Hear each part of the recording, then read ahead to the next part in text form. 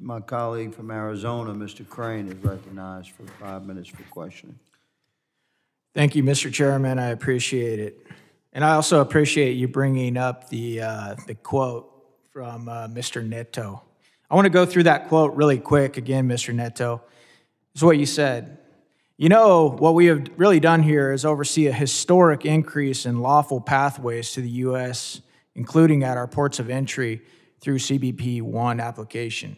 You most certainly have given us a historic increase, sir. And I want to go to a historic increase real quick. Just an example, just a couple days ago, not a couple years ago, but a couple days ago in Arizona, where I'm from.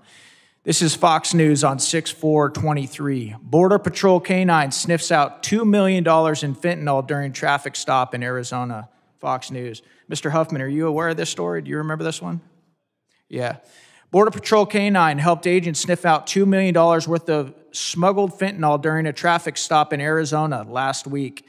The seizure happened at a checkpoint along I 8 near Yuma. Yuma Sector Chief Patrol Agent Patricia McGurk Daniel stated the narcotics totaled more than 192 pounds, enough to kill 48 million people. Sorry, I didn't say 48 people. I didn't say 48,000 people. I said 40, 48 million people. That's exactly the historic increase that you all have brought to the United States of America. Now, I want to go down to the second part of your quote where you say, and what we are really trying to do here is incentivize migrants to use safe, lawful, and orderly pathways that, again, we have expanded dramatically over the last two years. I want to focus in on one word incentivize. That is exactly what you have done. And I know why you've done it, sir, because that's exactly what your boss did. He was doing that when he was campaigning for president. I actually got a chance to read his very quote to Secretary Mayorkas sitting in your chair like a month ago. If you guys were actually serious about securing this border and protecting Americans, that word would not be incentivized. You know what it would be, sir? It, it would be deter.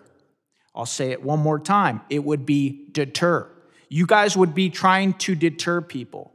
Now, I understand, you know, my colleagues over here, they're talking about, you know, um, folks trying to come here, um, migrants, and, you know, because of one of my colleagues said he attributed our border crisis to global economic disaster, okay? We, we, and I said, I've said this in this committee before. This side of the aisle, we, we do love we do love the fact that the United States of America is such a great country that people want to come here.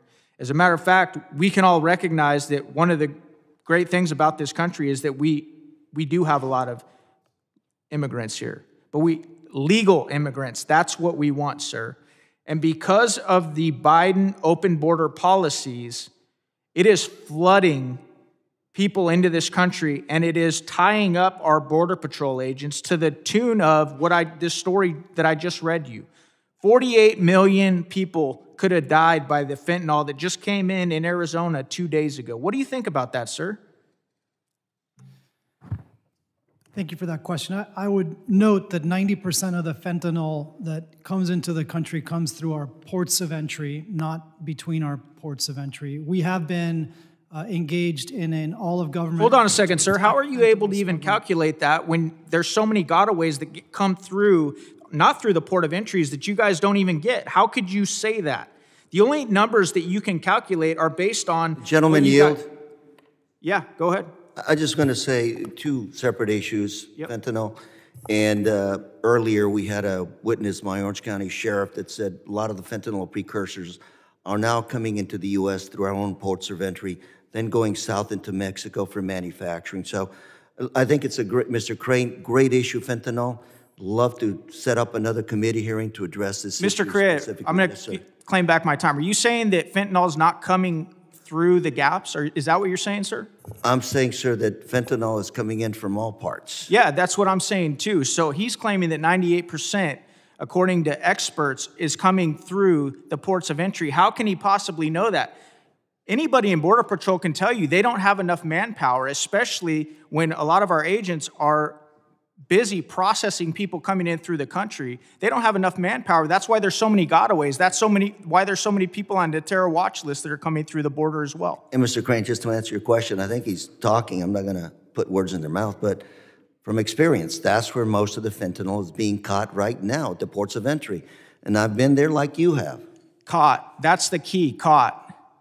That's because that's where most of our people are. if There's not a bunch. There's not we- as. There's not the same percentage of people in the gap. And if we that's what I'm doubled, telling you. and we doubled the number of uniforms, blue uniforms at those ports of entry, we would catch double the amount. but you still aren't touching the gaps where there aren't people in the open desert. That's what we're talking about.